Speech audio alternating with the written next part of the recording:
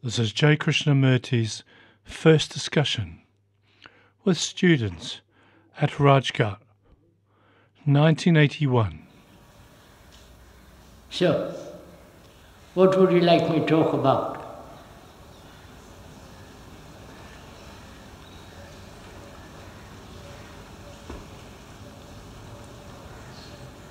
Tell me.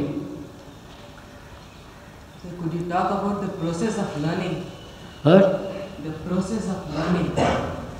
All right, you want to talk about learning? Huh? Yes? I, does it mean yes or no? Yes.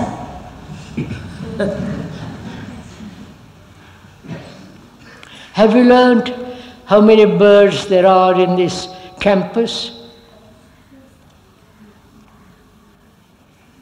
Have you learned about that? Have you watched all those birds? As it gets colder, they come down from the Himalayas and beyond the Himalayas from Russia. Quantities of birds come here. Have you learned? Watch them. Huh? Some of you have watched them. Do you know the names of the birds? See how many species of birds there are in this campus? Do you hurt them? Huh? You don't kill them?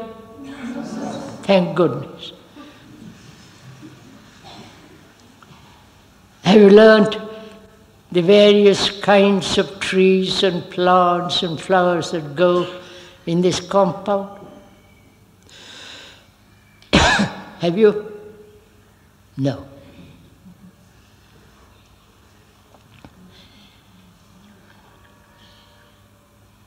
Have seen the poor people around here? Huh? What have you learned from them? By watching them, going carrying that heavy burden, and the people on the bicycle carrying heavy loads of milk and other things. Have you watched them? Yes? What have you learned from it?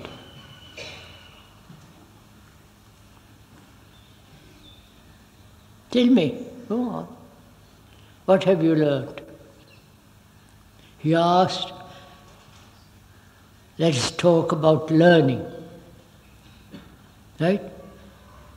Have you learned by watching those poor people day after day going to town with heavy loads and coming back with very little money? Have you watched all that? Hmm? And what is what do you feel about it? What's your reaction to it? Tell me, please. Everybody behave roughly with Huh? Everybody behave roughly with them. Everybody behaves roughly with them. Everybody behaves roughly with them. Everybody behaves. Roughly with them. You behave roughly with them.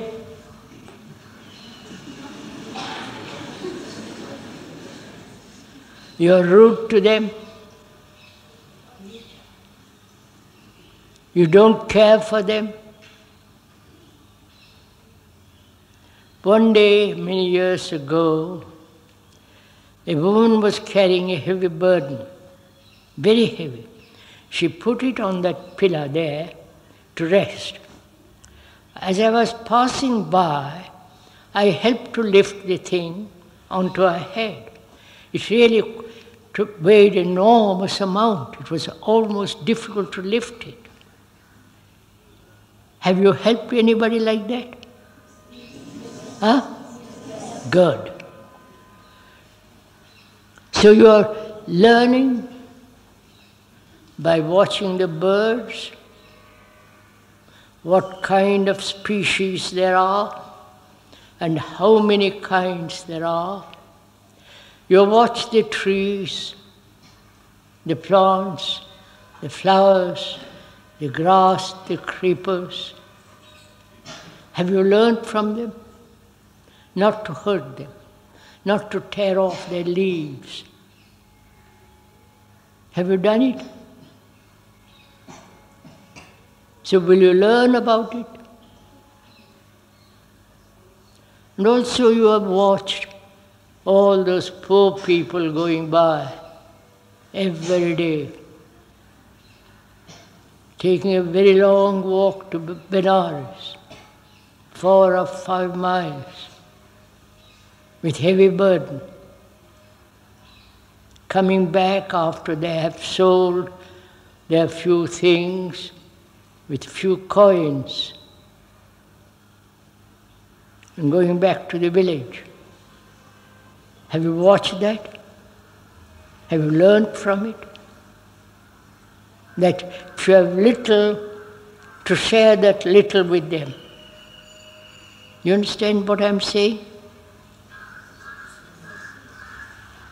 That is, if you have ten paisa to give them one coin, not all keep it to yourself.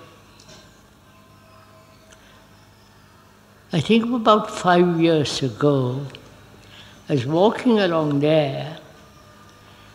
One of the villagers, he didn't know me, I didn't know him, gathered a few leaves and sticks and all that, set it far, and put a pot with a little rice, an onion in it, and a two or three drops of oil, and was cooking it. I watched him. I watched what he did, gathering leaves, gathering sticks, putting fire to them, then putting the pot with a little rice on it, oil, a large onion, and he cooked it. When it was properly cooked, he looked at me and he said, Will you share this with me? Take, take little out. I couldn't because he said, This is my whole meal for the day.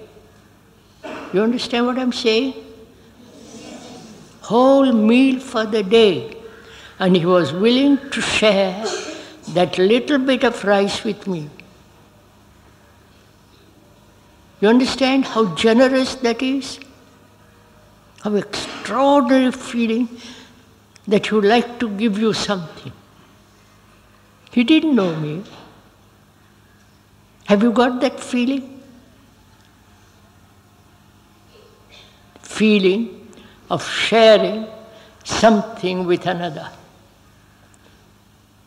Or do you want to keep it all to yourself?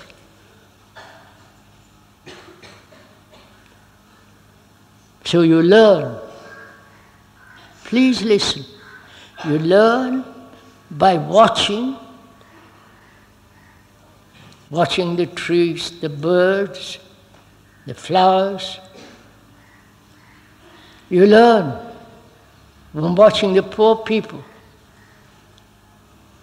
watching their burden, how they are laughing, chattering and learn to share little bit that you have, give little bit of that to somebody. As that man tried to give me little bit of his rice, his only meal for the whole day. And you learn by listening. Have you ever listened to the birds? Huh? Have you really listened?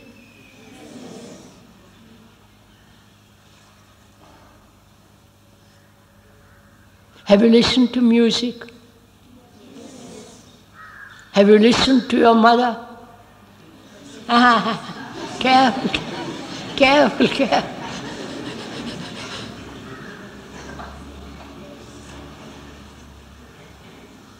Have you listened to your father? Casually, with one ear and forgetting it next minute. Have you listened to your teacher? Ah, ah, ah.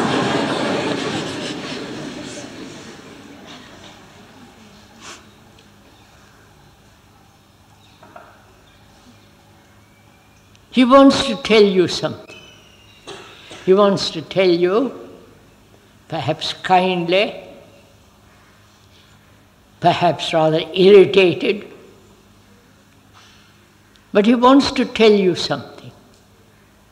And you're looking out of the window, seeing the lizard on the wall, or seeing a boat going by, or a bird on that branch. we are looking out there, on the wall, out of the window, or listening to somebody next to you want to tell you something. And the teacher says to you, pay attention, look at your book. Don't look out of the window, right? Does this happen? Quite right.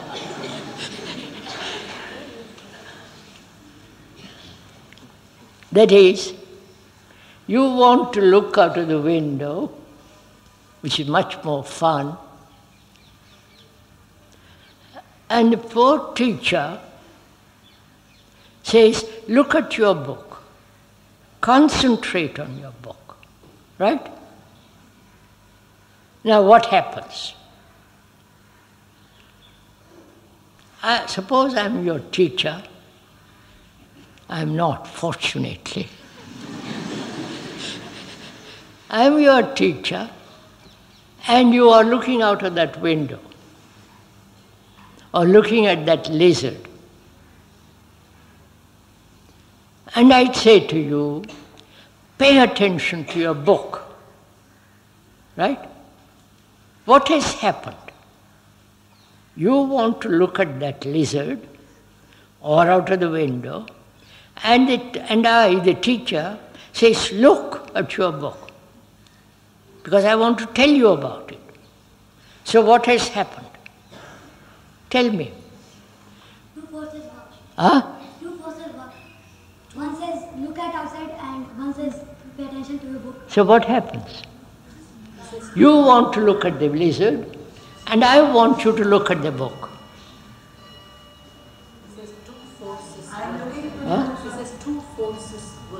Yeah, two forces are working against each other, right?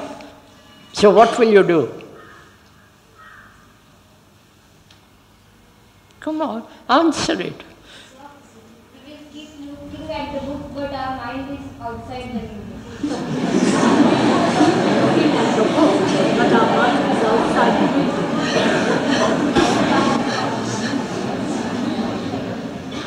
You keep looking at the book, but your mind is on the lizard. right?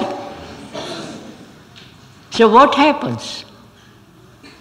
Your mind is on the lizard, but you are looking at the book. What takes place in your mind?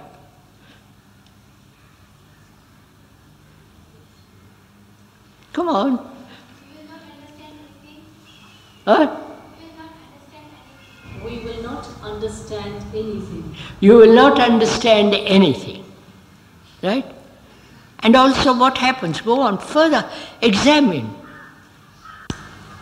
And we became angry because I, I become angry with the teacher.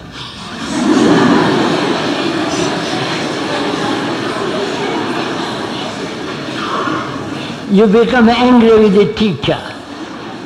Why? Because he's telling you to do something you don't want. That's it. He's making you do something which you don't want to do. You want to look at the lizard or out of the window, and I'm forcing you to look at the book. Right? So you get angry with me, Or you daren't show your anger to me because I'll slap you.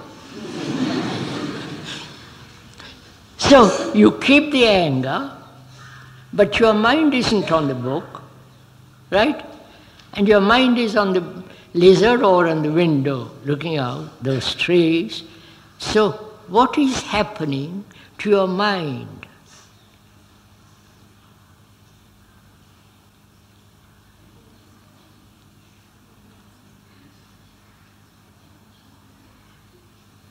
Aren't you in conflict? Huh? Right? Have you understood that? You are in conflict. I want you, as a teacher, to look at the book, and you are looking out of the window. You, are, you like to look out of the window much more than looking at the book. So you are in conflict with me, and you are in conflict with yourself, aren't you? Huh? Do you understand this? No, I, if you don't understand, don't say yes. I'll explain it more. That is, I want to look at the book. As a teacher, I want you to look at the book. But you are not looking at the book, your mind is on that. So there is conflict, there is struggle, there is annoyance, there is anger. Right? Right? Now, wait a minute, listen to this. I am your teacher. You have to study mathematics, geography, whatever you study. What shall I do? Tell me, what shall I do? You are interested in looking out of the window at the lizard or talking amongst yourself, and I want you to look at the book. So, what shall I do? You understand my question? Tell me. If the teacher will scold, we can't learn anything. If you will, if you will say politely that see, see in book, then we can see. If the teacher scolds, we can't learn anything. But if he says politely, look at the book, we may. If the teacher scolds you, the boy says, you won't learn anything. But the teacher gently reminds you politely, without scolding, perhaps, perhaps you might look at the book, right?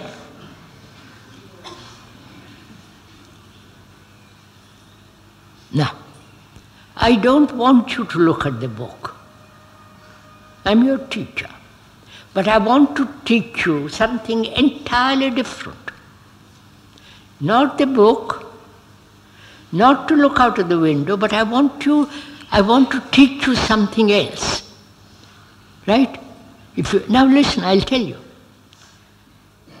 I, I have a book in front of me which you must look also. But your eyes, your ears are outside the, lizard or listen to that bird. Right? You get this? So, my concern is to make you aware, attentive. That's my concern. I wonder if you understand this. Have you understood this? I am not interested in your looking at the book, but I am interested that you should pay attention,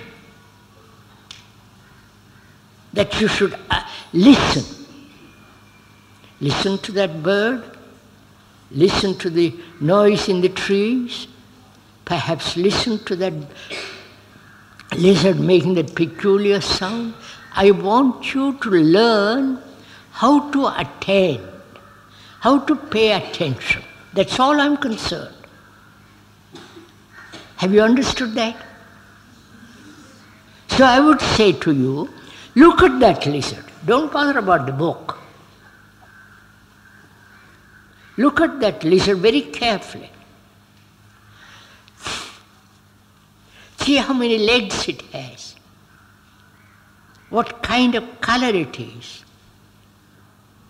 So that you pay attention to what you are looking at. Then, if there is that attention, which is that you look at that, but listen, listen to those birds, look at the sunshine on the leaf, very attentively, then you can pay attention to the book without conflict. Have you understood this? Huh? Now be careful. Don't say yes. Be quite clear. What is more important? To look at the book or look at the lizard? What is important in that? Huh? Some say to look at the lizard, and some say paying attention is more important. So, what is important to you? To learn to pay attention, right? That is to learn how to listen. If you know how to listen carefully, then you listen to the teacher. Right? I wonder if they understand this.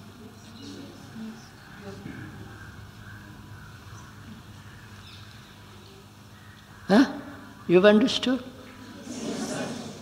Will you do that?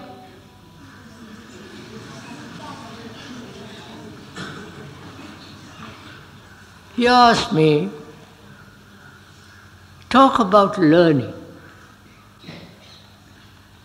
Learning from books, learning by watching, watching the poor people, watching the birds, watching the trees, listening to the song of birds, you begin to be alert, you begin to be sensitive.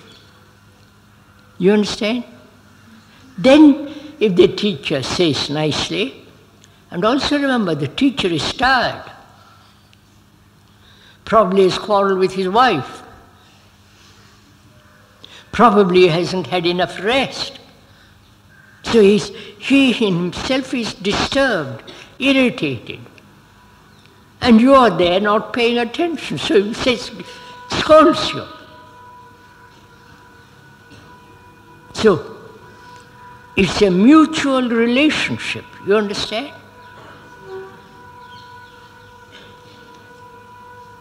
Do you understand that? Now, just me. You and I have a mutual relationship. That is, I am telling you something, you are politely enough, you are polite enough to listen to what I am saying. Right? So there is a mutual communication. But if I am angry and you are bored, there is no communication. But whereas both of us are learning how to look at a bird, how to look at a tr- tree, how to watch those poor people, then we have a common communication. And you learn from each other. Right? Is this clear? Right. Now, there is also learning from a book, right? Most of you learn from a book, don't you? Now, what does that mean? Tell me. Go on, tell me. You are reading history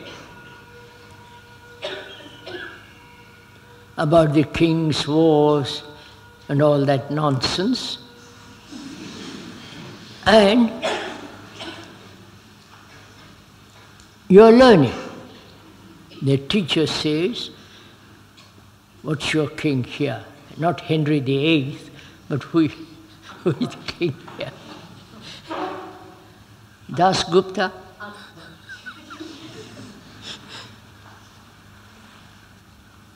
Somebody you're learning about from a book, right?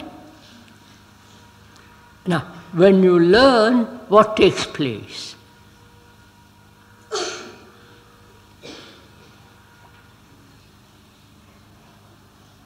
Come on. I'm a teacher of geography. Oh no, no, I don't like geography.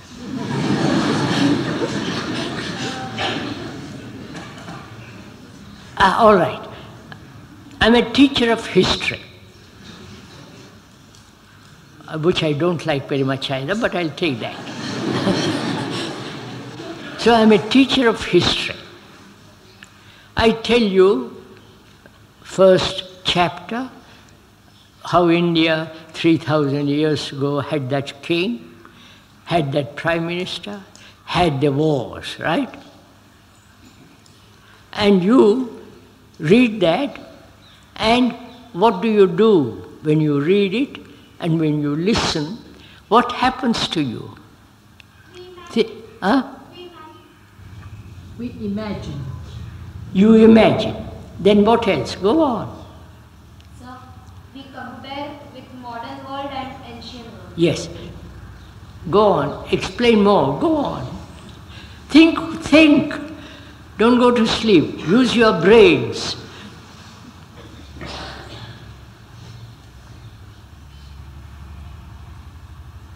What happened? Imagine ourselves in that situation. Huh? We, We try to imagine ourselves in that situation.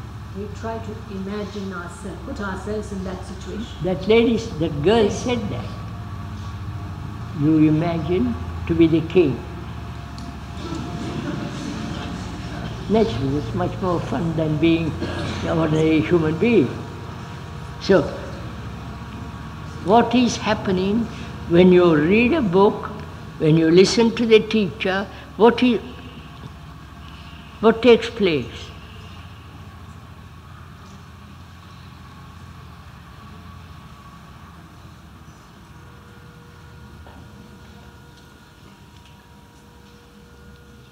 You're going to have an examination, aren't you? At the end of the term. Hmm? What takes place? You memorize, don't you? Huh? That's what takes place, doesn't it? That is, I tell you all about the Indian history. You listen, you read, and memorize, right? Don't you? So, your learning is to memorize. You follow that? And that's what you call learning. You have a lot of facts about Indian history or lot of prejudice in Indian history, and you memorize that. At the end of the term, you have an examination about history, right?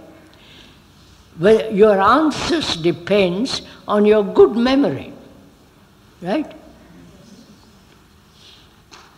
So, when you listen, when you read about history of which you don't know, you memorize.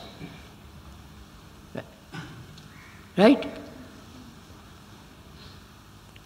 Um, I- I wonder, should I make it difficult for you? I think you'll understand. Memorize. From that memory, you respond. I ask you, as an examination paper, I ask you what happened in in seventh century, right? Who was the king? Who was uh, his minister? Who was he? How many wars did he have? What happens?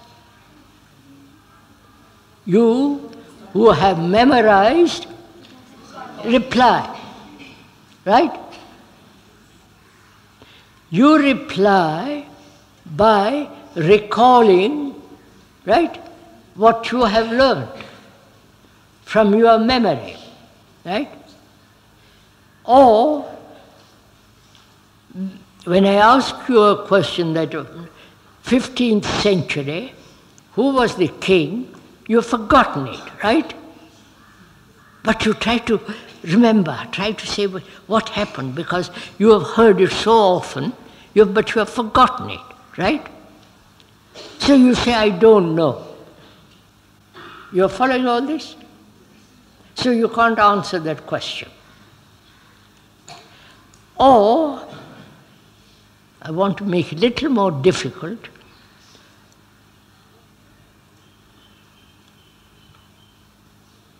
Your memory is part of your thinking, isn't it? Huh? Right? You're clear? You think your, your memory, then out of that memory you begin to think. Now look, you know where you live in Benares, right? It takes so much time to get there, right? So your memory, thought tells you the direction, the house, the number of the house, the street you live in. Right? Are you following all this?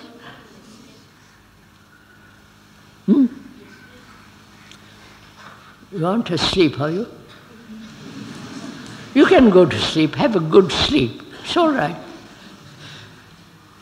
I don't mind. So, you learn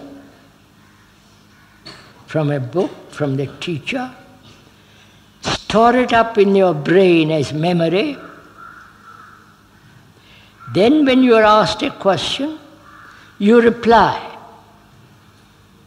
Or you don't remember.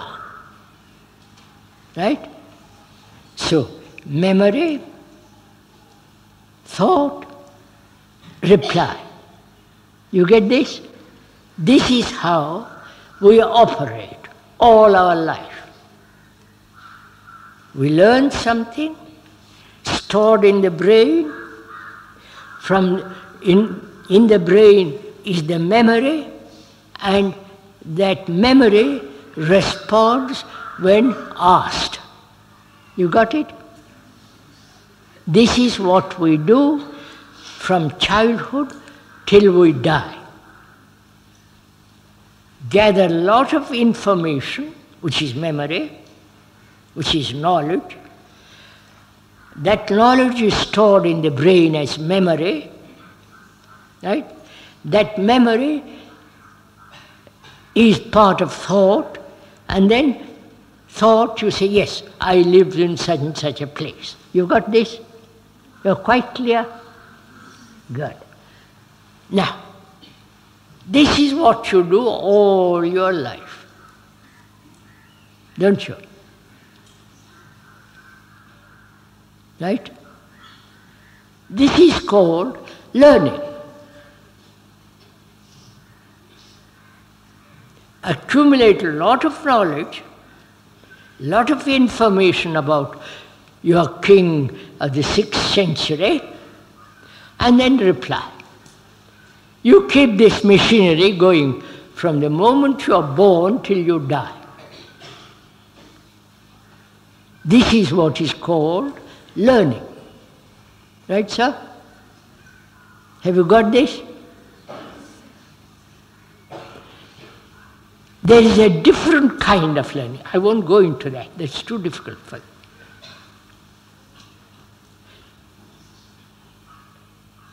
The more you have memory, knowledge, the more you think you are, a, you are a very clever person, better job, better this and better that. Right? So, knowledge has become very important to people. You understand? Do you understand this?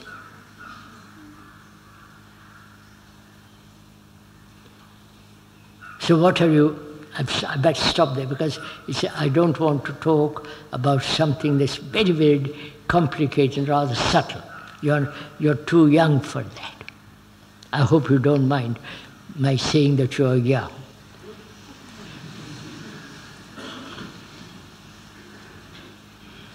What else would you like to talk about?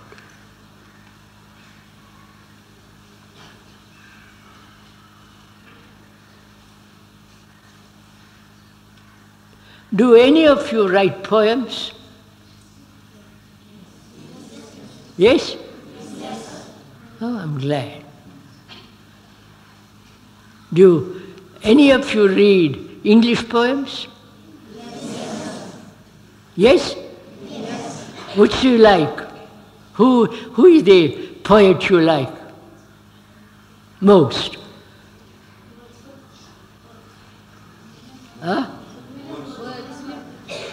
Someone said Wordsworth. Wordsworth. Do you know his, which poem do you know of Wordsworth?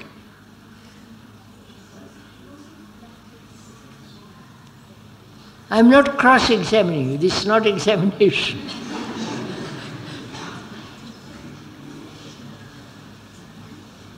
Have you read Wordsworth's poem on immortality? You've read the daffodils. Huh? The daffodils. The daffodils. Oh, the, da- the thousand daffodils by the lakeside. Yes. Oh, you know it? Good. Whom else do you know?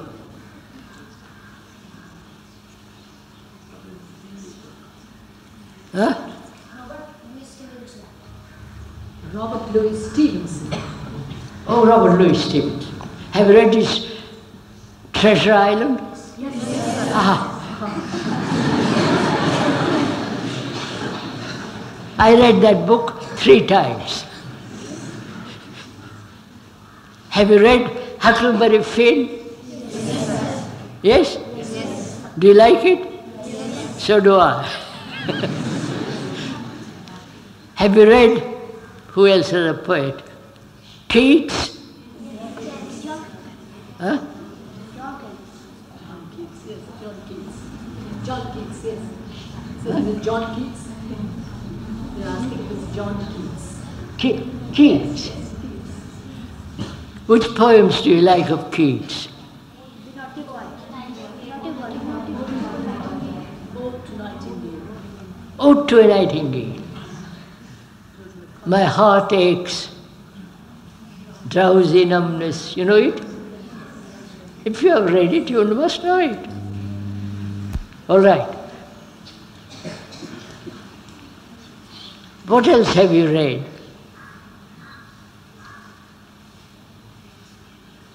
Do you read any novels? Yes. Which ones? Huh? Blyton. Which? Enid Blyton. The thriller for little children she writes. I don't.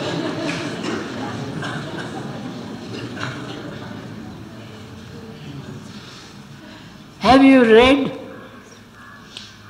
the old Bible?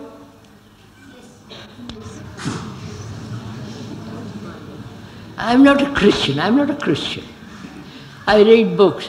I read the Old Testament because a beautiful language, very simple, very clear, beautiful words they use. You should read that, Old Testament. What else?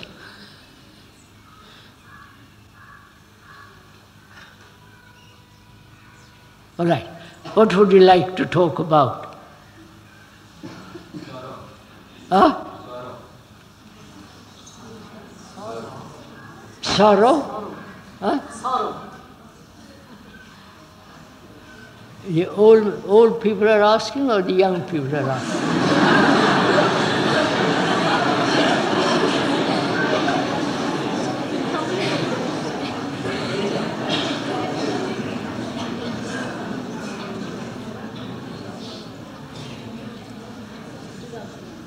Go ahead, sir.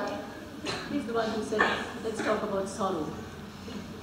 He's the senior student. Do you feel sorrow when a bird falls to the ground? Huh? Do you feel sorrow when a tree is cut down?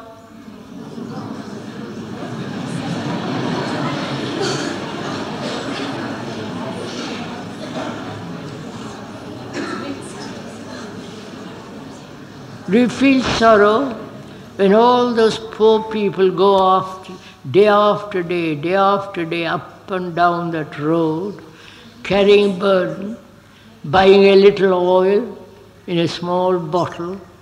Do you feel sorrow? Yes. Huh?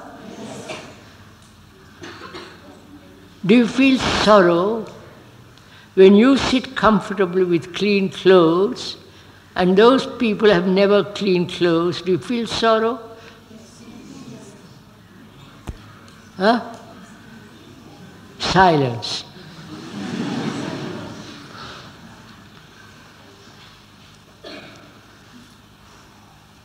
So, what is sorrow?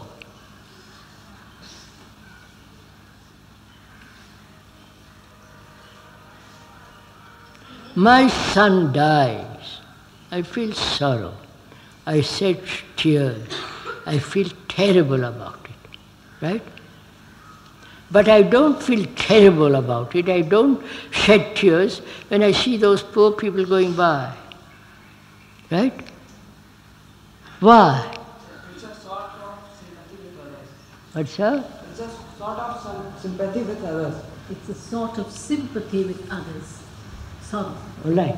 Is sympathy for others and sorrow different? So we only feel sorrow when it happens to ourselves. Huh? We only feel sorrow when it happens to ourselves. Quite right. When we feel sorrow when it only happens to us, right? But if it happens to you, I don't care. Right? Right? So, is sorrow personal? This is too difficult.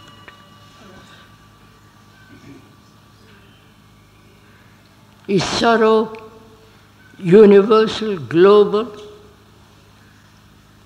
You know how many wars there have been from, his, from historical times? You know what historical times are? Historical times are those times in which history has been kept. You understand? Written history. Written history has been kept about 5,000 years. That is, uh, 4500 BC, the Egyptians, the ancient Egyptians, had the calendar, first calendar. And before that, that's about 5,000 years, there have been wars practically every year. You understand? People killing each other, maiming each other, burning their house, doing terrible things. That has been going on for 5,000 years, practically a war a year. Right? Do you feel sorrow for all those people who have been killed? Huh? No, of course you don't. But you only feel sorrow if my brother gets killed in the war. Right? Is that it? If my wife dies, right? So you think I'm only, I, there is only sorrow if it affects me, right? But 5,000 years of war has affected humanity, right? Millions and millions have cried. Their brothers have come home with one leg or one arm, blind.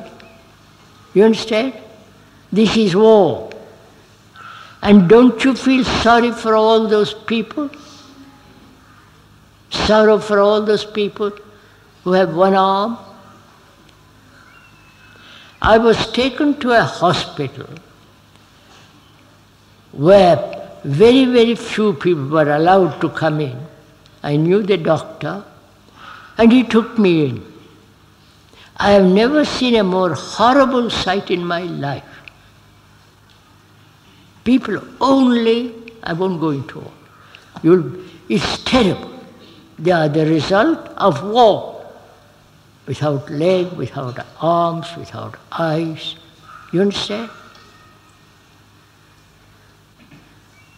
So don't you feel enormously sor- sorrowful for all those people? Or only when it affects my me?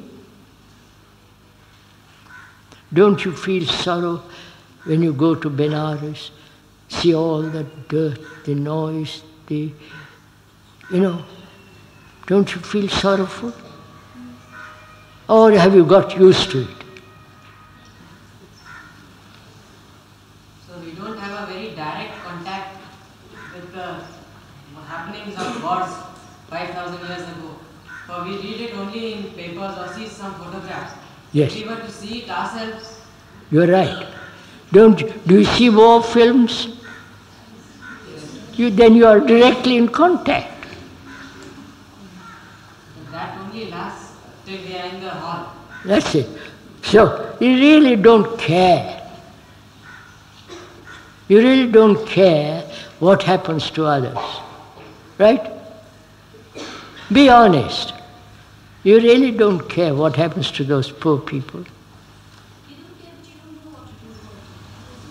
We do care, but we don't know what to do about it.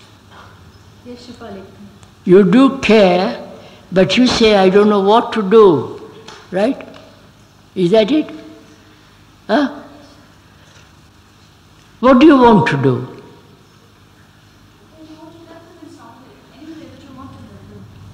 You want to help them in some way. How?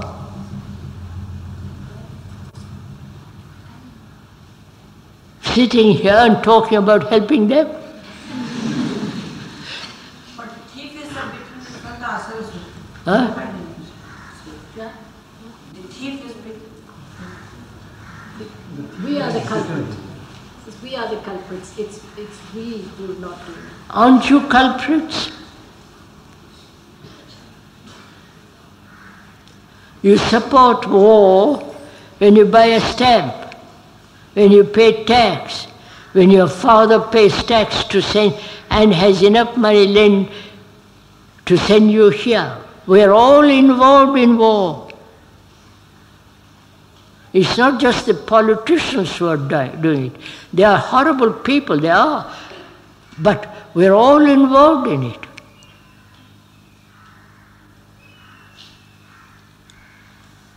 What time is it? 20 to 11, How long have I talked? 50 minutes. I've talked 50 minutes. Is that enough?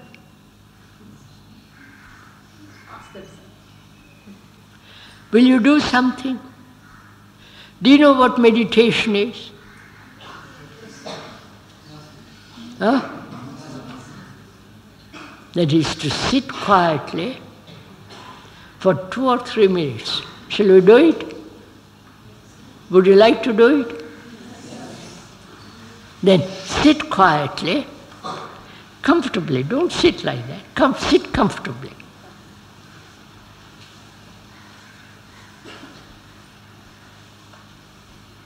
and shut your eyes. Just listen to what I have to say first. Sit quietly, shut your eyes. When you shut your eyes, don't let your eyes move. You understand? They move because they're looking at something else. So, sit quietly, don't move your eyes, and find out what you are thinking, what you are thinking about. That's all.